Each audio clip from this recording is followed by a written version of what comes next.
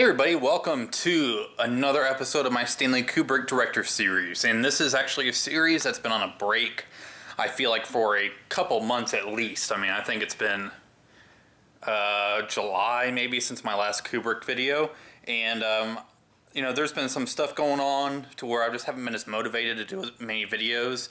And uh, this week I'm really trying to turn that around. So I'm doing some series, finishing some series that I started a while back. And, um, yeah, so that's what I'm doing. I'm actually doing uh, Stanley Kubrick's A Clockwork Orange today. And so that's what we're going to be doing today.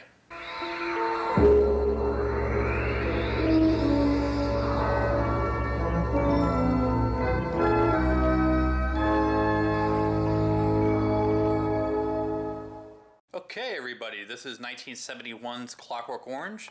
I'm sure many of you have seen it, but um, basically, if you haven't seen it, this will be um, spoiler free, I guess you could say.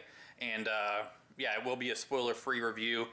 Um, actually, maybe like mini spoiler because I'm going to be talking about, you know, maybe half the film, maybe a little bit more than half of the film, but I will not be talking about the ending of the film at least. So um, basically, you have Malcolm McDowell's character, um, Alex. He's basically a leader of a little gang, and they just go around. They do they, they rob places. They beat people up like on the side of the street.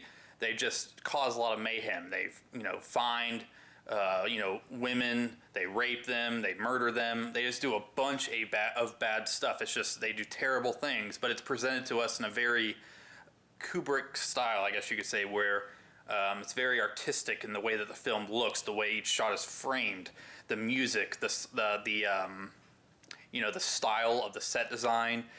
It's very futuristic, but then it's not like it, it doesn't really have any kind of feel to it other than dirty, um, just kind of gross in terms of you know it's like a, a, a future gone wrong. I guess you could say society. I guess you could say is kind of dystopian, and um, you know these these droogs, which is what they call themselves, the gang is just you know some younger guys that just fell between the cracks of society, and they just go around causing hell and mayhem. And uh, so basically, through a series of events, Alex, the lead droog, um, ends up in prison. And so when he's in prison, he's you know tries tries to turn his life around.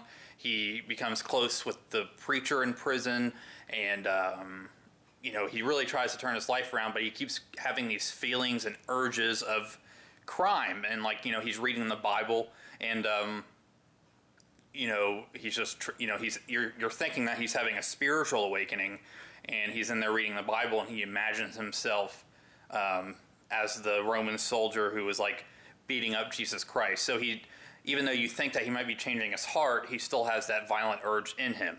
And, um, yeah, it's it's really interesting how that plays out. And so they basically the plot turns into what the title of the film um, is, you know, a Clockwork Orange, and the themes of the film, which is can you is it right to um, you know, can you force somebody to be a good person if it does if you don't change your heart?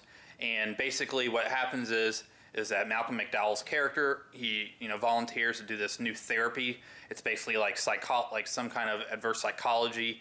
And um, it's like almost like mind manipulation to where basically he goes through this therapy and it makes him basically hate any kind of, of violence and stuff. And he basically has an urge to throw up and uh, all this stuff.